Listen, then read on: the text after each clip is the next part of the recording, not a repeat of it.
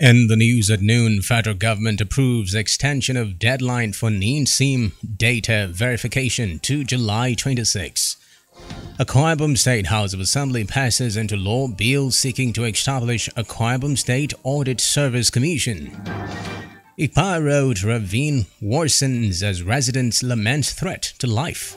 On the foreign scene, former South African President Jacob Zuma sentenced to 15 months in prison. In sports, Copa America quarter-final fixtures released. Details coming up shortly.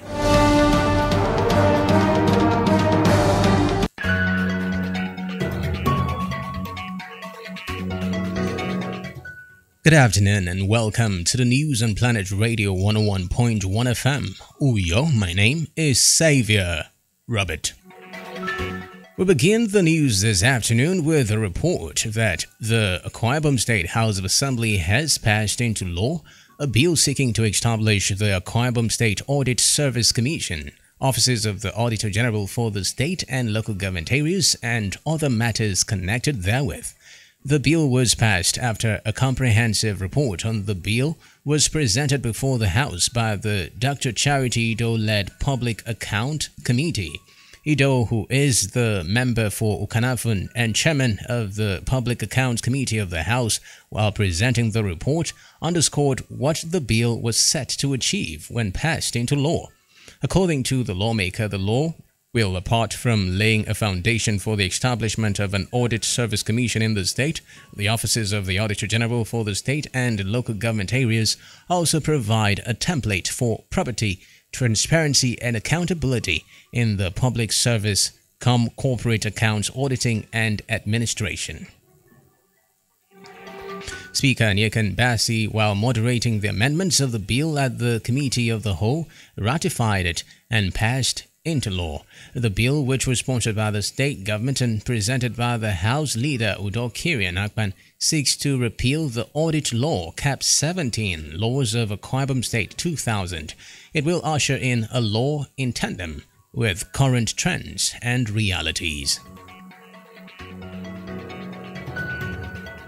Away from that, residents of Ikpa Road, commercial motorists and passers-by and onlookers have called on the Akwa Ibom state government to urgently intervene in the Ikpa Road ravine spot that has completely caved in, putting lives and property at risk. Speaking with Planet News at the affected site, respondents lamented how long the place has been in existence, saying intervention work was long overdue.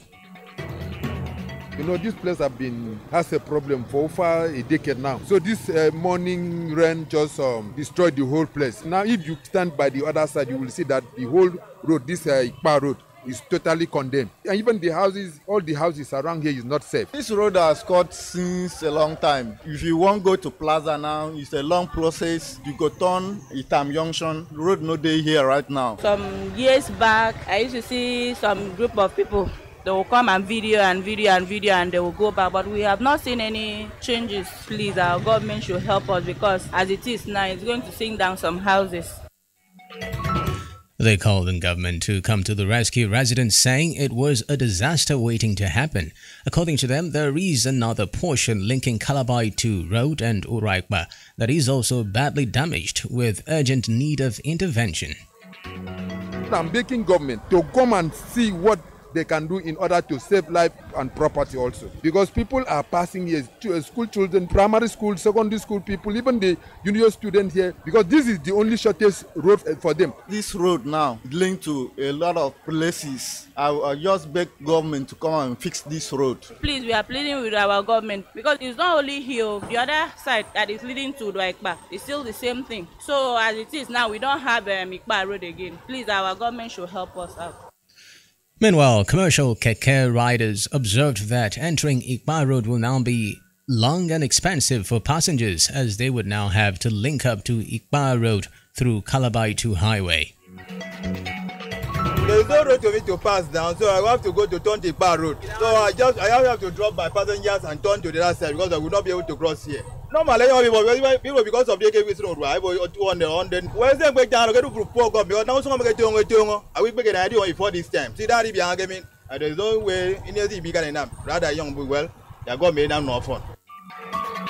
From the national scene, the federal government has announced the extension of the deadline for NINSIM data verification. The Director of Public Affairs Nigerian Communications Commission Ikechukwu Adinde disclosed this in a statement stating that the verification would continue till July 26 this year. According to the statement, the decision to further extend the deadline was made based on a re request by stakeholders in need to continue the NIN-SIM verification process following the rapid increase in the number of enrollment systems across the country. The statement also quoted the Minister of Communications and Digital Economy, Dr. Isa Pantami, as thanking Nigerians for their patience and compliance with the federal government's directive on the NIN-SIM registration exercise. In the meantime, the federal government has announced a ban on travelers arriving from five African countries as part of the measures to for mitigating a potential third wave of COVID-19. The countries are South Africa, Uganda, Rwanda, Namibia, and Zambia. The chairman of the Presidential Steering Committee PSC on COVID-19, Boss Mustapha, who announced the measure at a press briefing in Abuja, also announced the extension of measures taken few weeks ago, denying entry into Nigeria for passengers who had visited Brazil, Turkey, and India within 14 days preceding their arrival to the country. Mustapha said the ban on visits from those countries shall now be extended by another four weeks before it is subjected to further evaluation. Mustapha, who is the secretary to the government of the federation, said the decision was warranted by the prevalence of variants of concern and the dangers associated with the importation of such virulent strains to Nigeria. He expressed concern that South Africa, for example, recorded over 100,000 cases of COVID 19 infections in the last one week, while 20,000 was recorded in the last 24 hours. He urged members of the public not to allow their guards yet because of reported spikes in some countries and the emergence of variants of concern in several jurisdictions where the third wave has occurred. From the petroleum sector, the Nigerian National Petroleum Corporation NNPC has said there was no plan to increase the official pump price of the premium motor spirits PMS, otherwise known as petrol, from 162 naira in July. The group managing director GMD of NNPC Mele Kyari who stated this during an interview, however, noted that engagements were still ongoing with the organized labor to arrive at the appropriate price of the petroleum product, stating that until both parties arrive at a conclusion, the current price remains. According to him, President Muhammad Buhari instructed the corporation not to make petrol price out of reach of Nigerians, especially at this moment to the judiciary now, where Federal High Court sitting in Lagos has fixed October 7 to hear a motion seeking the final forfeiture of the sum of 5.78 million dollars and 2.4 billion naira linked to a former First Lady, Patience Jonathan. Justice Tijani Ringim fixed the date after taking arguments from counsel to the parties in the matter. In 2017, the Economic and Financial Crimes Commission EFCC filed the application for forfeiture before Justice Mojisola Olatoregun. The defendants in the suit were Mrs. Jonathan alongside Lawari Furniture and Beds. Justice Olatoregun had on April 26, 2017 ordered the temporary forfeiture of the monies sequel to an expert ex parte application by the EFCC. The judges order was affirmed by both the Court of Appeal and the Supreme Court. You are listening to the news on Planet Radio 101.1 FM. Let's take a breather and then bring you more stories from the foreign sports and entertainment scenes. Do stay with us.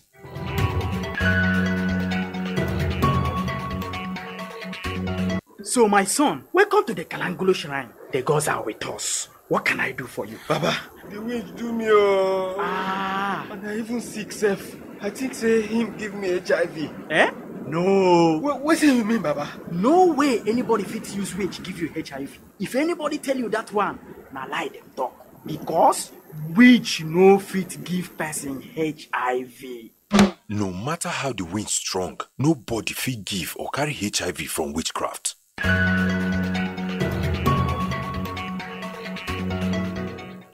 Thanks for staying with us. Now onto the foreign scene where South former South African President Jacob Zuma has been sentenced to 15 months in prison for contempt of court.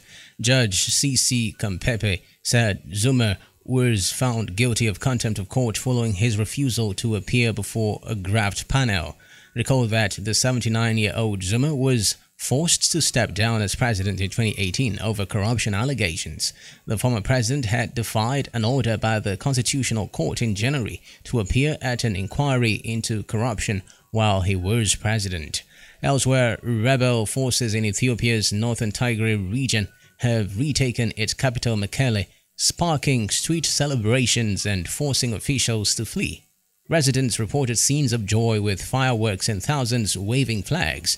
The government, which took Mekelle in November after rebels rejected political reforms and captured army bases, has now called a humanitarian ceasefire in the region. The fighting has left thousands dead and has pushed 350,000 towards famine. More than 2 million people have been displaced. In sports, the eight countries that qualified for the quarterfinal of the ongoing Copa America have been confirmed following the conclusion of the group stage fixtures in the early hours of today. Uruguay defeated Paraguay 1-0 to book their place in the Copa America quarterfinal, while Argentina beat Bolivia 4-1 to also qualify for the last eight. The eight countries are Peru, Paraguay, Brazil, Chile, Uruguay, Colombia, Argentina, and Ecuador. The quarterfinal will start on Friday and end on Sunday. In the fixtures, Peru will face Paraguay, Brazil goes up against Chile, Uruguay face Colombia, while Argentina lock horns with Ecuador. And on the entertainment scene, English singer and songwriter Ed Sheeran has revealed that he penned down 25 songs a week during his hiatus the 30 year old superstar who took some time off to spend quality time with his baby daughter Lyra, who was born in September 2020, said he continued to work on new music and ended up writing two albums during his downtime. Meanwhile, reports say the Grammy winner had some songwriting sessions with Sir Elton John. It's been the news on Planet Radio 101.1 FM. Uyo, but before we go, a quick recap of the major stories. The federal government has announced the extension of the deadline for NIN SIM data verification to July 26 this year.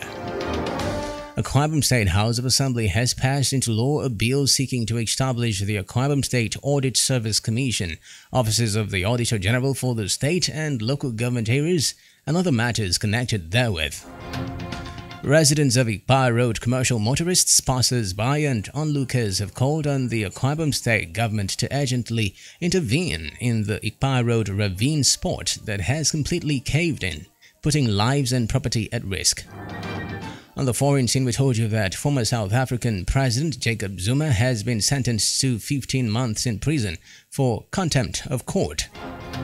And in sports, reported that the eight countries that qualified for the quarterfinal of the ongoing Copa America have been confirmed following the conclusion of the group stage fixtures in the early hours of today. For comments and coverage of newsworthy events, do call our newsroom on 0812 770 40. Visit our website on planet101fm.ng and and also like our Facebook page at Planet 101FM. Uyo. The news was edited by Jane Uwa. As we end the news, take this message. Do not be a pessimist. Stop seeing difficulty when chances beckon. Always strive for the best no matter the hurdles.